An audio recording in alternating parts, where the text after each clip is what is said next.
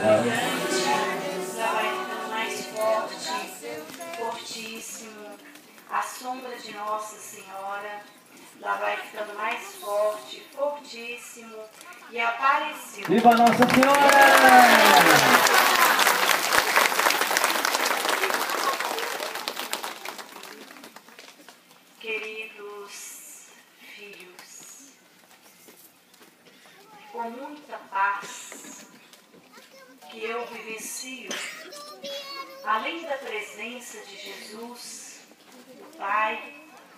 E do Espírito Santo no meio de nós. É um domingo de paz, um domingo de bênçãos. E o homem, o maior que seja a sua capacidade de amar, de compreender, ele sempre tem que estar com o seu coração aberto a receber a linda presença de Jesus. Pois só aprendemos o verdadeiro valor da vida quando abrimos as portas dos nossos corações e respiramos essa linda unção da Santíssima Trindade em nós. É uma experiência linda que vocês, romeiros, peregrinos, estão tendo a cada domingo em que vocês dedicam a vida de vocês a estarem aqui neste pequeno santuário. E sempre recebendo bênçãos do céu. Cada vez mais nós nos tornamos iluminados pela grandiosíssima luz do Espírito Santo a transformar verdadeiramente o nosso coração. Neste ano que estamos chegando ao final do ano da graça, do ano do sacrifício do ano da santidade. Mas justamente Jesus ele faz uma reflexão muito bonita e ele fez essa reflexão com os apóstolos. Ele disse que às vezes o homem ele tem tempo demais, mas ele esquece de ter tempo para Deus. Então ele vai fazendo tudo o que ele precisa. Ele cuida primeiro do seu trabalho, do seu compromisso, e ele vai esquecendo de Deus. Só que chega um momento da vida que o homem desperta-se diante de uma necessidade, diante de uma dor, diante de um problema. E aí ele descobre que todo aquele tempo que ele deu para o mundo, ele não viveu para ele mesmo. Porque, na verdade, só se ame a cada um, amar a si mesmo, quando verdadeiramente se ama a Deus. Então, existem momentos da vida que nós dedicamos tanto tempo às coisas e esquecemos de dedicar todo o tempo ao presente que Deus nos concede, que é a vida. Assim é o ano da graça. Tivemos ali um ano bonito, um ano de muitas bênçãos, um ano de muitas graças, foi um ano difícil também, principalmente para quem é servo de, de Deus de verdade.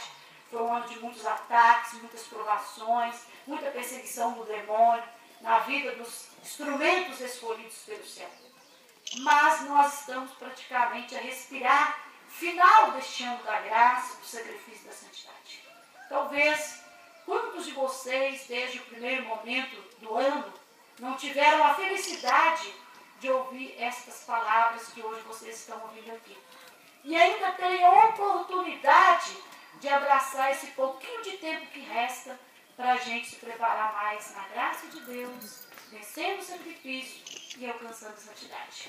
Jesus tem nos falado do estado de graça. E isso é algo que preocupa muito a humanidade.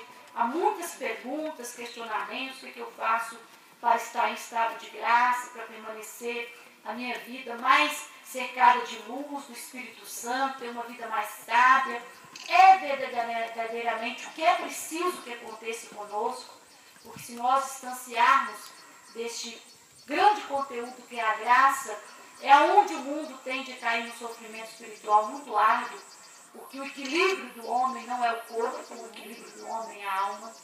Se você não tem a sua alma em paz, a sua alma tranquila, a sua consciência tranquila, seu corpo pode estar em, constante estável saúde, que ele permanecerá doente. Então, a, o grande equilíbrio da parte humana, física, é o espiritual. Por isso que Jesus disse que na vida nós temos que cuidar de nós, que começa do coração, da alma, para que todo o nosso resto esteja completamente saudável. É a cura espiritual, é a cura do Senhor. É o que Jesus fez conosco quando ele morreu naquele calvário, dando a vida por nós. Ele tirou toda aquela dor que estava ali dentro de nós e colocou o amor. O amor de Jesus foi o grande perdão de Jesus para com cada um de nós. Então hoje nós temos aí a graça de viver esse ano da graça. Eu gostaria de falar para vocês, como mãe, que viver a graça de Deus é para poucos. Porque é para aqueles que querem de verdade a santidade. Hoje não é difícil, não é impossível. É algo mais fácil do que a gente pensa ser. Porque quando se fala da santidade, das coisas de Deus, às vezes o homem tem uma, uma busca tão tenebrosa que ele esquece que Deus é misericórdia. Deus é o contrário do que nós fazemos. Muitas vezes nós colocamos um Deus na nossa vida como cruel, um Deus exigente, e Deus é um Deus Pai, é um Deus amigo, é um Deus que nos ama, que faz tudo para nos resgatar para a plenitude da felicidade plena. É aquele Deus que nos conscientiza de que não adianta a gente querer teimar e ser feliz quando estamos errados. É como você querer plantar uma semente numa terra que todas as pessoas dizem ela não produz. Então nós temos que ter consciência de que a nossa vida precisa produzir, seja na família, seja no trabalho, seja no dia a dia, nos anos que passam, porque vocês, o corpo envelhece, é uma grande realidade. É uma realidade, às vezes, até difícil de ser vista, porque todos querem a mesma coisa da rosa. Quando você tem uma rosa no jardim, ela começa a se abrir e você fica feliz. Quando ela se abre, você se esplandece de felicidade. Mas quando ela cai, você fica muito triste, porque você pensa que aquela rosa simplesmente morreu. Mas, na verdade, uma rosa nunca deixa de ser rosa. Logo em seguida virá um novo conteúdo que vai abrir, que vai virar uma rosa, que depois vai mostrar para nós que tem a sua essência, que é o perfume. Assim é a nossa passagem, e principalmente a passagem de vocês sobre a terra. A cada ano, um novo degrau. E a cada degrau, uma maior responsabilidade. A criança tem sua responsabilidade. O jovem tem sua maior responsabilidade. E a pessoa amadurecida já tem que ser responsável responsável, porque o exemplo de uma infância pura e de um jovem feliz está nas mãos de vocês, pessoas amadurecidas. Não adianta querer cobrar dos seus filhos aquilo que você não tem na sua casa. Muitas vezes você quer santidade, você quer felicidade, você quer dignidade, você quer respeito, mas os seus filhos, infelizmente, não enxergam isso que você quer que eles sejam. Então, o grande exemplo na vida é aquele que se dá. E o melhor exemplo da vida é aquele que se vive. Quando você vive, você é o grande exemplo. Então, quando Deus nos colocou viver esse ano, eu fiquei muito feliz, porque eu fico tão feliz quando vocês assim dizem, ave cheia de graça. Porque eu me vejo cada vez mais na bem-aventurança da graça de Deus. Mas eu fiquei tão feliz porque Deus dedicou o ano da graça como um ano de batalhas, como um ano de busca, mas um ano de verdadeiramente a festa de despertar. E aconteceu durante este ano algo muito bonito, que foi a grande graça de um povo de Deus ter mais sede, mais fome, mais desejo de realizar realmente a vontade de Deus na sua vida. E Deus, como sempre, Ele é maravilhoso.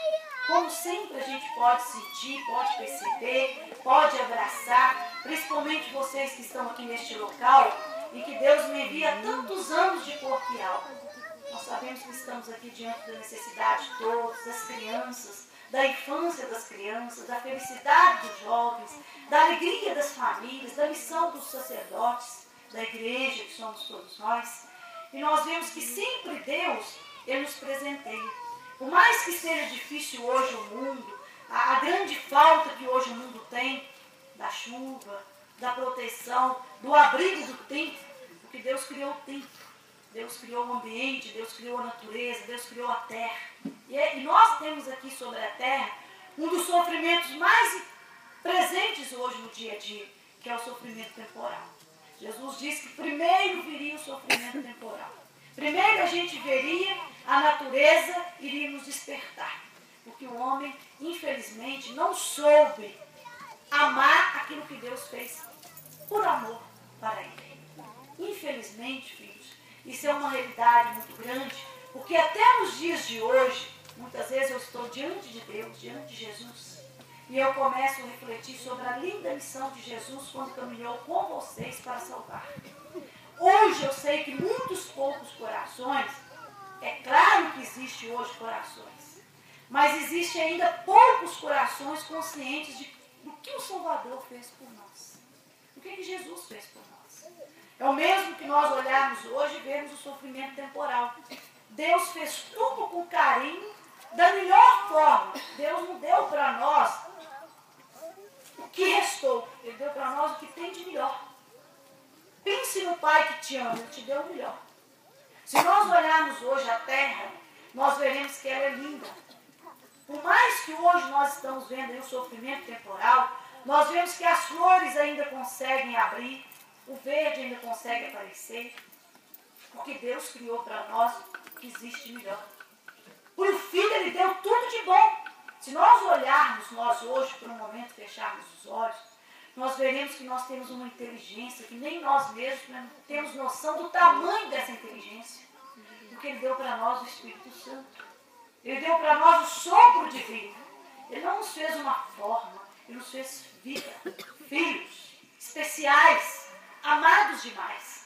Então, se nós olharmos, nós veremos que o amor de Deus por nós é magnífico, é extraordinário, é bendito. Nós iremos dizer bendito, bendito é o Senhor, porque fez por nós tudo. Se hoje nós vemos sofrimento na terra, como as enfermidades, as doenças espirituais, o desequilíbrio, às vezes aquela vontade que você tem você não sabe amar a vida, você não sabe amar a sua caminhada aqui na terra. Você sabe questionar, reclamar. Simplesmente você ignora o ponto mais importante da sua vida, a fé. Porque a fé move a todos nós para o bem. A fé move, a fé transforma. Então, quando Deus criou o mundo, Ele criou tudo perfeito. Mas por ganância, o homem foi desobediente desde o primeiro momento que Deus criou. Caiu no pecado, Jesus teve que vir suar sangue para tirar esse peso da mancha do pecado da vida de todos vocês. E hoje nós vemos a situação que se encontra o mundo desmoronando-se. Esta é a verdade. Então, o primeiro sofrimento que nós vamos ver é o temporal. Mas logo em seguida, nós já estamos vendo, é o sofrimento material é muita enfermidade, é muita tristeza. É um homem precisado imensamente de Deus. Pense na sua precisão. Ela é imensa.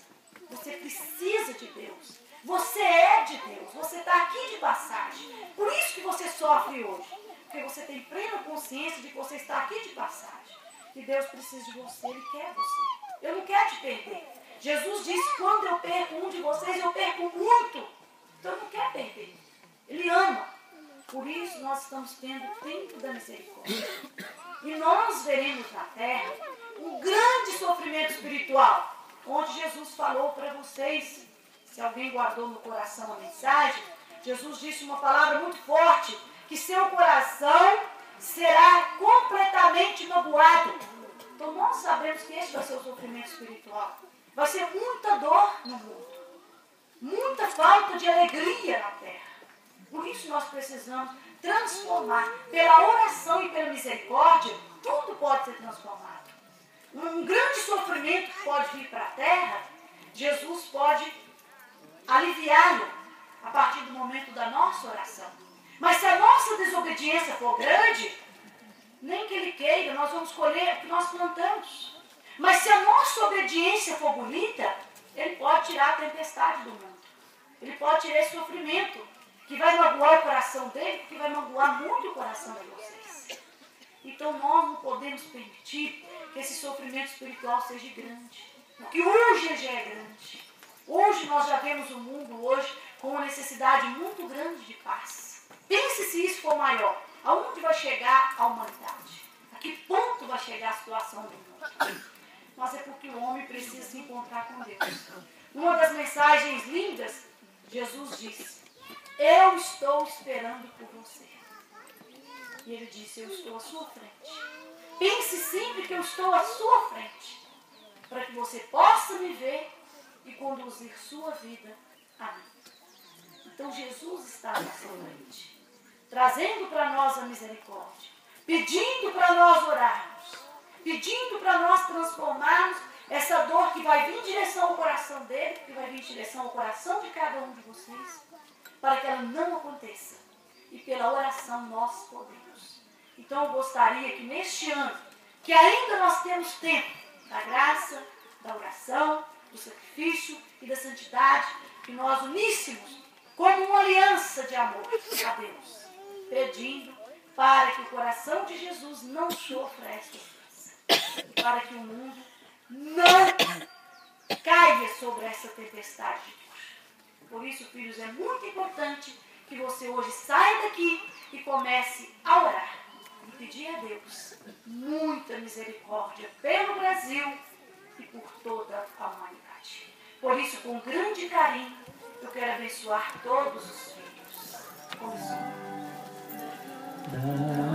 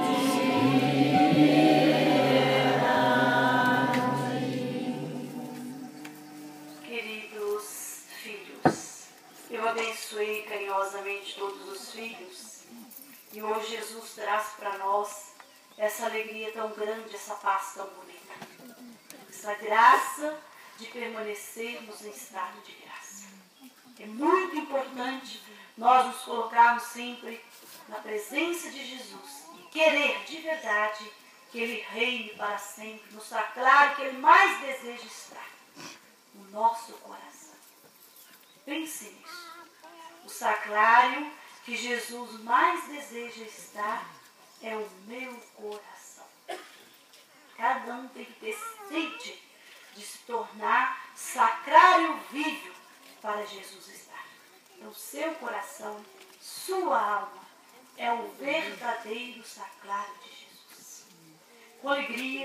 abençoe os vossos pedidos. São muitos os pedidos aqui, as curas, muitas libertações, que hoje há necessidade, muitos filhos que se encontram diante de enfermidades espirituais. Abençoe aqueles que estão precisando de proteção em suas famílias, principalmente no matrimônio. Que Deus Pai, Deus Filho e Deus Espírito Santo guarde, proteja e ilumine todos vocês. E essa bênção de hoje para minha filha Maria Gabriela e meu filho José, que são os aniversariantes, e todos os outros que aqui estão presentes, para que eles se ofereçam de coração a Jesus. Confie no Senhor, tanto a criança como esse jovem, e a vida de vocês será de de bênçãos. Meu imaculado coração triunfará, filhos, e vocês farão parte dessa quem me ofertou as flores mais belas e lindas, eu quero ofertar o meu coração. Ela lá vai. Benção, mãe. Benção, mãe. Proteja meus filhos. Salve, Rainha, Mãe de Misericórdia, a vida, doçura e esperança nossa, salve. A vós bradamos, degredados filhos de Eva, a vós suspiramos, gemendo e chorando neste mar de tenha por advogada nossa, esses nossos olhos misericordiosos a nós volvei. E depois desse desterro, sai Jesus, bendito é o fruto do vosso ventre. ó clemente, ó piedosa, ó doce sempre Virgem Maria, rogai por nós, Santa Mãe de Deus, para que sejamos dignos das promessas de Cristo para sempre. Amém.